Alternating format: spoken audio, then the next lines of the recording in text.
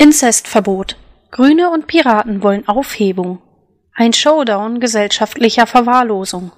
Straßburg, Berlin.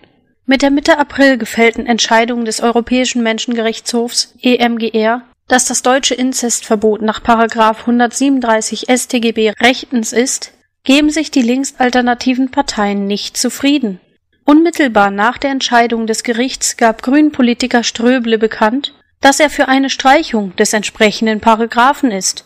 Das Verbot passt nicht mehr in die Zeit, sagte er dem Nachrichtensender N24. Jetzt haben sich auch die linksgrünen Piraten zu Wort gemeldet und sprechen sich in einer Pressemitteilung ebenfalls für eine Streichung des Inzestparagraphen aus.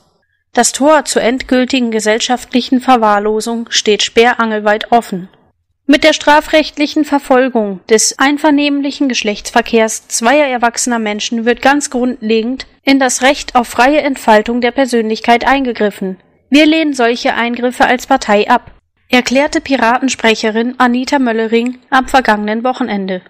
Eine Übereinkunft aller Gesellschaften zur Ächtung des sexuellen Verkehrs unter Verwandten sei nach Ansicht der Piratenpartei ohne Grundlage.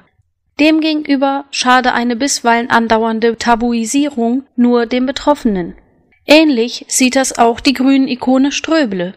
Er stigmatisiert das Inzestverbot als eine überkommende Erscheinung aus längst vergangenen Tagen.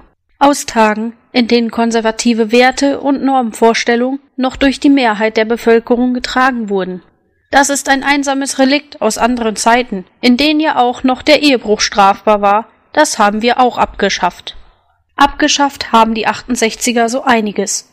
Angesichts der Tatsache, dass Grüne und Piraten bundesweit zusammen auf 25 Prozent der Wählerstimmen kommen, wird auch der Sozialdemokrat Sarrazin recht behalten, wenn er sagt, Deutschland schafft sich ab.